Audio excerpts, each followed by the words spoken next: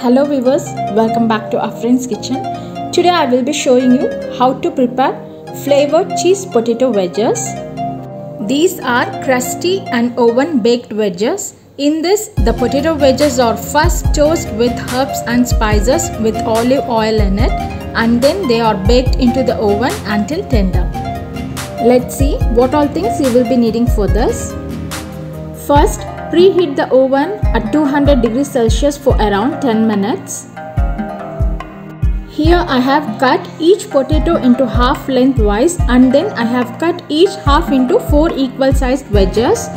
So each potato will give 8 wedges. Next step is to boil them. Heat water in a pan and add some salt and drop potato wedges. Boil this for 5 to 7 minutes. The purpose of boiling is to just ensure that the potato is slightly cooked. It should not be overcooked otherwise wedges will break.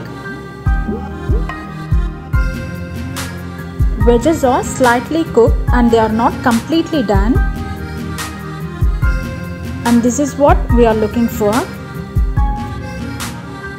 Next in a bowl add 3 teaspoon of extra virgin olive oil 1 teaspoon of garlic and ginger paste, 1 teaspoon of chili powder, half teaspoon of pepper powder, 1 teaspoon of corn flour,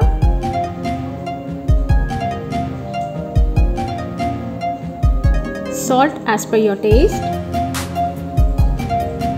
half teaspoon of oregano.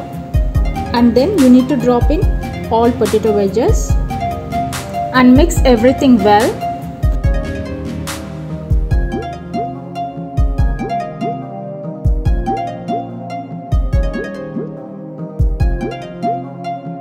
Finally, add some fresh coriander leaves. Mix everything well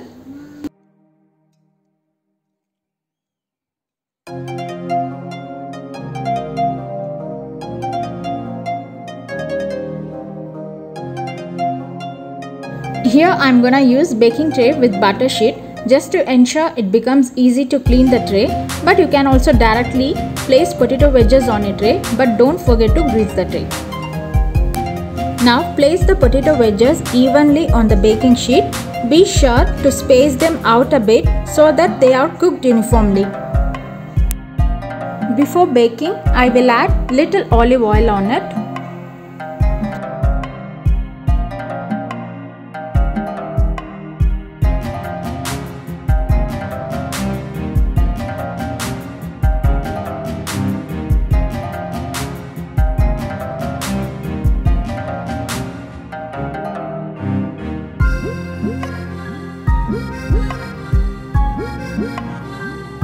Finally, add some grated cheese.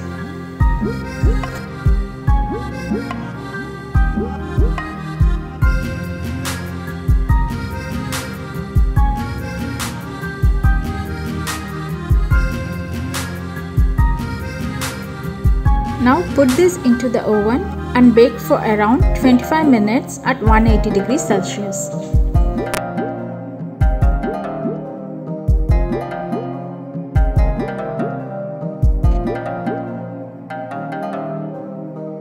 It's done. Now remove them. You can see how delicious they look. I'm going to serve them hot with mayo dip and ketchup. Oven baked cheese potato wedges are ready. As you can see, they have come out very good with golden brown color on the top because of different herbs and olive oil we have used over here. Do try this recipe and let me know how it turned out in the comment section below. Do give it a like and subscribe to the channel Afreen's Kitchen. I will meet you with another interesting recipe. Until then, bye-bye.